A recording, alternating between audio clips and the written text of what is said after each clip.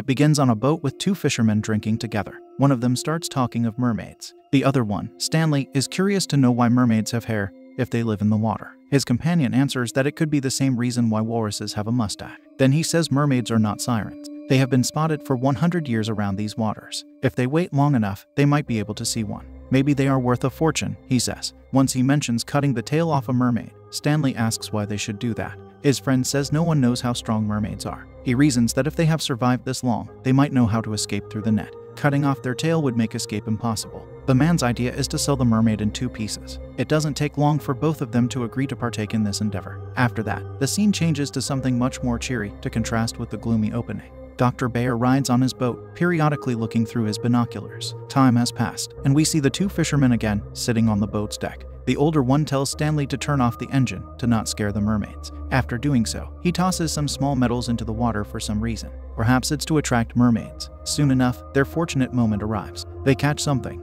Dr. Bayer hears the activity from a distance, which prompts him to look their way with his binoculars. Someone gets caught in the fisherman's net to get pulled out onto the deck. That someone happens to be the mythical mermaid. Bayer looks at her, not believing his eyes. The doctor has to take off his sunglasses to properly observe such a wonder. The fishermen lower her onto the deck. She shows how strong her tail is by making a box fly several meters after slamming it. Crawling to the edge of the boat, the mermaid tries to escape. But not having legs makes that a daunting task. At that moment, Stanley strikes her with an axe. His friend comes to help, yet she shows them how tough she is. Stanley gets rope to start restraining the legendary creature with it. While the rope is tied to his arm, the mermaid manages to escape. In doing so, Stanley gets dragged along into the water. She swims along, with him following. The man is powerless in the mermaid's natural environment. Bayer observes this chaotic situation, perhaps wondering what should be done. The fisherman on deck uses his shotgun to fire at the mermaid. However, he accidentally ends up shooting Stanley instead. Afterward, he throws the net into the water in the hope of catching the Lady of the Sea again. Lucky for him, she falls for his trap a second time.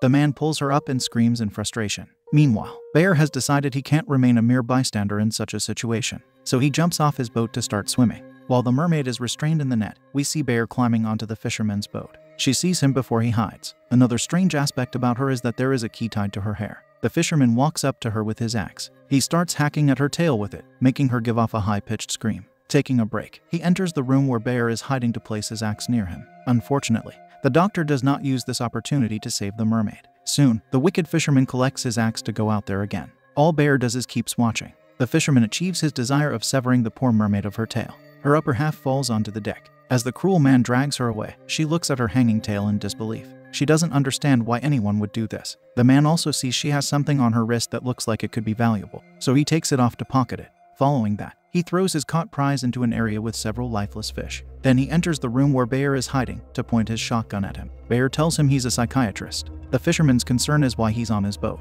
The doctor tells him that he is an interested buyer in the mermaid. Once he says that, the fisherman states he wants $5 million for her. That makes Bayer say that he's not that rich. He offers him 10 times less instead. But that is too low for the fisherman. The number they agree on is $1 million. When the doctor asks him why he cut off her tail, the tail falls into the water as if being mentioned affected its ability to move. That makes the man with the gun go out to look at it floating beneath him. At that moment, Bayer slams him on the head. Afterward, he takes the shotgun to finish him, yet the weapon is out of ammo he resorts to using the axe. Now that he's the man of the boat, he opens the hatch to look at the mermaid. For some reason, he splashes water on her before closing it again. The next scene shows us something very different. We are now inside Dr. Bayer's facility for women. There are several of them there. Before the focus lands on them, our attention gets brought to two guards. One of them asks the other if there was an insane asylum there. It seems to be new. The veteran guard tells him there was one there, before the psychiatric facility was built. It even still exists beneath them. A sudden noise then startles them. Within the facility, we observe something about as strange as the mermaid. There is a ghost girl there, whose appearance is transparent. Returning to the guards, the veteran guard tells the new one that one of the doors in the building has steps which go down to the weirdest basement. After that, the ghost girl comes over to the group of girls. She speaks to one of them, June, to tell her she thinks there is a ghost in the bathroom. Supposedly, June is the only one who can see and hear her, pretending that she didn't hear her. June just tells the others she thinks there is something in the bathroom, like it's her original suspicion. That makes the girls grab whatever they can to use as a weapon before venturing there. Their counselor tries to hold them back by saying not to engage in June's fantasy. She goes into the bathroom first to tell them it's the new girl. She also says the girl's behavior will not make her feel at home. In the next scene, Bayer sits in his office, looking at his computer. On it, there are pictures of the mermaid, along with how many days have passed since he encountered her. we learn that a respectable amount of time has gone by. As we keep shifting through successive dates, we see the mermaid has grown a cocoon in place of her severed tail. On the 63rd day, her cocoon starts peeling off to show that she now has legs. At first, they were very thin, though eventually they became fuller. Other notes are written there, like the mermaid's inclination to only eat fish. The last statement we see is that Bayer has decided to move her off the boat to his facility for further study. The girls hear her high-pitched screaming. The ghost girl walks to a pool to see the mermaid there. The ghost's presence scares her, making her enter the water. Apparently, June isn't the only one who can see her. Then the ghost talks to June about her. She says the new girl's legs don't work. We also discover the ghost is ignorant about being a ghost. June tries to tell her, but she doesn't listen. Soon, one of the girls comes to June, rudely telling her to stop talking because it looks like she's talking to herself. Later, the nurse Sandra tries talking to the mermaid. Of course, the uncivilized mythical being is incapable of answering her. The ghost girl is also there, trying to speak to Sandra. However, just like the mermaid can't respond to Sandra, Sandra can't respond to the ghost. The ghost girl, unfortunately, interprets this as her being ignored. Shortly after, the mermaid takes the jelly toy on Sandra's pen and tries to eat it. She mistakes it for an urchin. It doesn't take long for her to realize it's not edible. After that, Sandra removes a covering to reveal an aquarium. It scares the mermaid. To calm her, the woman shows her a basket of toys. One toy in particular interests her. She crushes it in her hand. We see the crushed result is a mermaid. Subsequently, the new girl starts showing her something with her hands. It makes Sandra realize she knows sign language. At another time, the ghost girl brings the mermaid a wheelchair. She looks at the ghost in fear, which makes the girl cover her with blankets to make her feel safe. Then a man arrives, by the name of Dr. Miller. He inspects the mermaid while she's in the shower. To him, it's obvious she has experienced a traumatic event. The next scene has all the girls sitting in their group session with Dr. Miller. The mermaid is there, taking someone's glasses before crushing them in one hand. She starts using her hands again, yet Miller says her sign language is cryptic, trying to interpret it. He says she is telling them there is a girl in the room which none of them can see. At that point, June says she can see her too. The mermaid starts mentioning pirates. Those are the people she claims to have learned such communication from. They stole her species from the sea generations ago. According to her, thousands of girls are born on land who have no idea their genes go back to an ocean resident. This is such bizarre information to Miller that he simply doesn't understand her, even though she's making simple statement. This is when Sandra tells him the girl thinks she's a mermaid. That causes one of the girls to ask why she is bipedal. She informs them all that it happens once they are forced to live on dry land, or if their tail gets cut off. Afterward, our vulnerable mermaid says she will lose her life if she doesn't return to the ocean soon. Following her revelation, one of the girls, Raina, goes over to the mermaid to spit on her and lets her know she hates her. She also tries to seduce Miller, which makes the man try putting on his glasses. Much to his chagrin, they are the ones the mermaid crushed. Later, the girls talk about being mermaids in their room.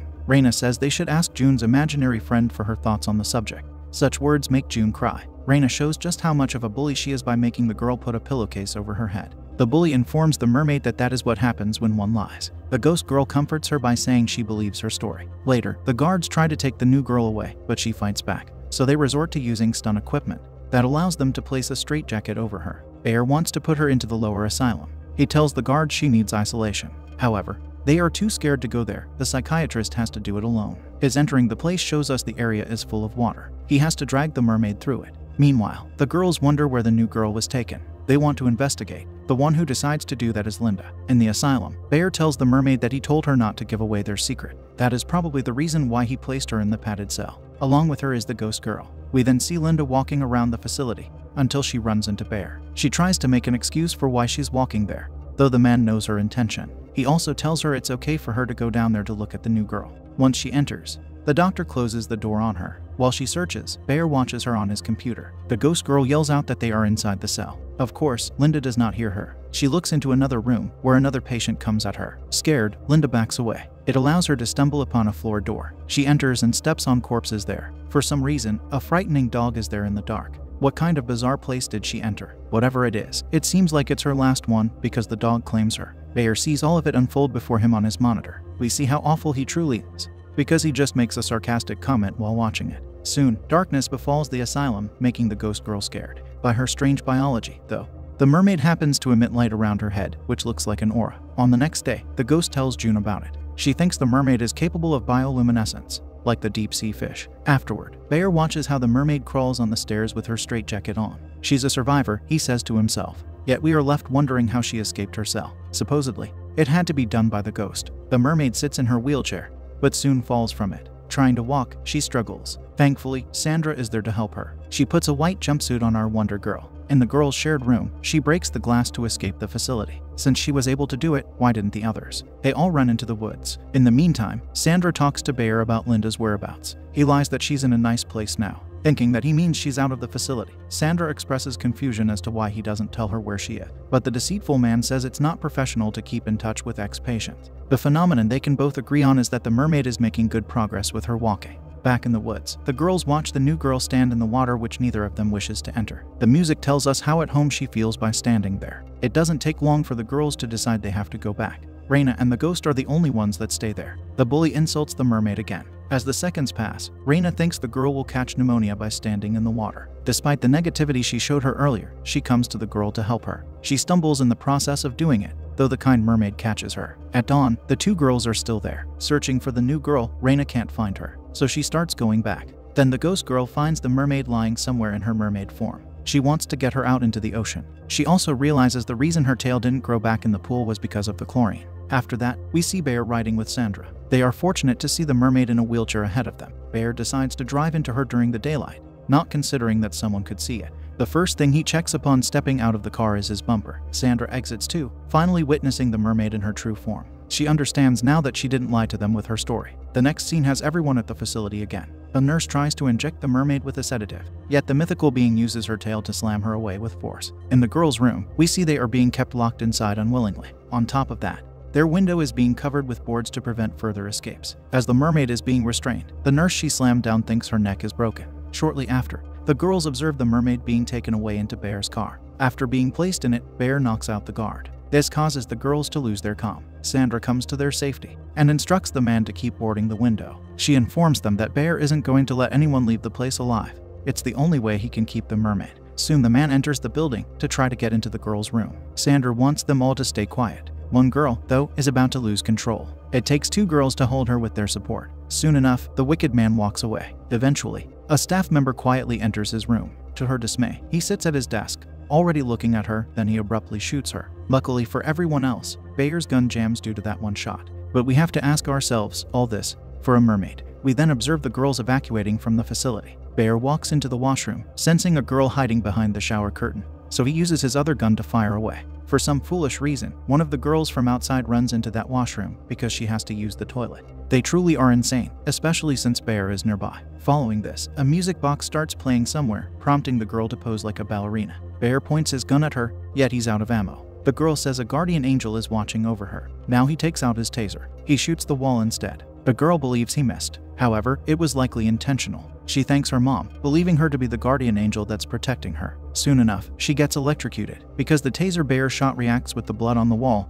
that connects to the blood the girl stands on. Afterward, Bayer enters his car. Ghost Girl is there to assure the mermaid that she won't leave her. As they ride, the Lady of the Sea emits a black substance from her mouth on Bayer. He has to stop driving to look at her. Tasting it, the man says it's ink. He keeps driving, like it isn't that big of a deal. Eventually, he arrives at his boat. Inside, he restrains the mermaid in a room. He wants her to know he's sorry that she is feeling so sick. He even asks if she wants some cough syrup. Furthermore, the man mentions that his life is over because of her. Of course, we know she has nothing to do with the mistakes he chose to make. The evil man has to blame someone else. Then he informs her that he's going to do what he wanted to do since he saw her, cut her open with a saw to observe what he calls her fish parts. The situation starts looking more hopeful when Sandra arrives by taxi with the girls. She comes out and instructs them to stay in the car. Entering Bayer's boat alone, she cannot find the mermaid. This saddens her, so she sits down. A book near her reveals that a girl went missing because Bayer kidnapped her. Further pages show her being lifeless. This disgusting information angers Sandra to the point of tossing away the book. Suddenly, Sandra hears the mermaid's high-pitched scream. She thinks she heard it behind a bookcase, causing her to start moving it. After tossing out most of the books, she notices there is one that remains stationary. Moving it proves the book to be a lever. That opens the door to the mermaid. Sandra enters the room with a gun in her hand that she found mounted on the wall. It frightens her to see Bayer in the mirror, but she is the one with the gun. Her fear is nonsensical. In the taxi, the girls hear a gunshot, which prompts them to say they need to help Sandra. We see that she only shot his hand. The mermaid helps her by bringing the man down while holding him by the face. Soon enough, the girls arrive to see it all. They help free their mermaid friend. Once free, she goes through an opening in the boat to become truly free by entering the ocean at last. However, her freedom contrasts with the opposite state of the girls. They cannot open the door because it's jammed. To make matters worse, Raina informs them they are sinking due to the hole in the boat. As they wonder how they will escape, Bayer gets up to knock one of them into the water. The tension is ever growing. He holds the girl there, attempting to drown her. Fortunately, the mermaid returns to fight the doctor. There are moments where he has the upper hand, yet he ends up losing to the resilient mermaid. Then we witness how the boat is sinking to a critical degree. The mermaid uses her tail to break the roof, after slamming it several times. That power allows everyone to escape to the shore. Their victory, though, does not come without its defeat. The girl who Bayer was attempting to drown lies lifeless on the shore. Reina was particularly fond of her, so she is devastated by such a loss. June tries to comfort her by saying the girl is with her brother. She perceives her ghost nearby, even though we don't see her. The mermaid crawls to the shore as well. She crawls to all of them and uses one girl's lipstick to sloppily apply it to the girl's mouth. One of them says that by doing that, the mermaid is expressing her gratitude. Following this, Reina reminds the mermaid what she said during their group session that there are girls who are mermaids, but don't know about it. She mentions this because she wants to know if any of them are mermaids. The question makes our mythical girl point to one of them, June. Now we understand that mermaids can see ghosts. To this discovery, June smiles in a time of sadness. While the mermaid crawls back to be reunited with her ocean, the ghost girl comes over to her and cries. This makes her friend speak to her using sign language. Sadly, the ghost doesn't understand it. One of the girls says that the mermaid is saying she will always feel you. She probably doesn't see the ghost, she's just interpreting the sign language to everyone else. The mermaid then returns to her home in the ocean, while the girls watch her swim away. Even Reina is sad to see her go. The final moment shows us Bayer floating alone in the water. The repulsive man is alive, yet not for long. The mermaid pulls him into her natural environment to finish him off for good.